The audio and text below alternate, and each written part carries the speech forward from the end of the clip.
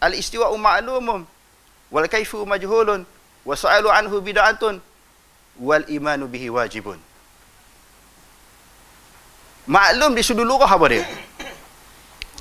Saya ada bukti secara bersanad bahawa Imam Malik mengatakan Allah Subhanahu wa taala berada di atas arasy dengan zatnya dan bukan dengan sifatnya.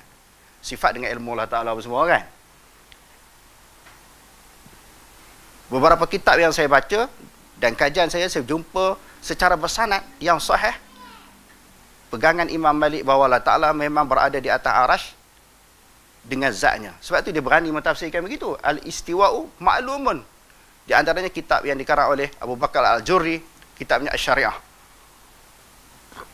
Abu Bakar Al-Ajuri mengendengahkan pendapat pegangan Imam Malik Allah Taala beristiwa di atas arasy dengan zatnya. Jadi kembali kepada soalan tadi, maknanya apa dia?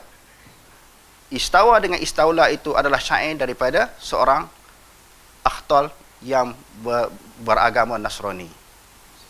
Ha, sebab itu disebut dalam syair yang lain, wa daliluhum fi baitin fi ma qalahu yaqulu akhtalun nasraniyu dalil mereka adalah syair daripada bait akhtal seorang nasrani dia duk kata kita ni mujassimah musyabihah dia duk pegang syair nasrani. Dengan syair nasrani inilah berani mengkafirkan orang. Subhanallah. Dengan berpegang kepada syair nasrani ini yang sangat rapuh berani mengkafirkan orang berani memujassimahkan orang. Kalau tuan-tuan baca di dalam kitab Hujjatullahil Balighah yang dikarang oleh Syah Waliullah. Dia kata, tidak dijumpai pandangan-pandangan sahabat ini, tidak dijumpai pandangan sahabat, mereka mewajibkan mentakwilkan ayat-ayat mutasyabihat. Tak ada dalil. Dan di dalam dia menghuraikan masalah ini, dia kata, bila ada orang tak takwil, ada golongan memusyabihahkan dan memujassimahkan orang. Ha, betul ya, saya dua ni berlaku lah.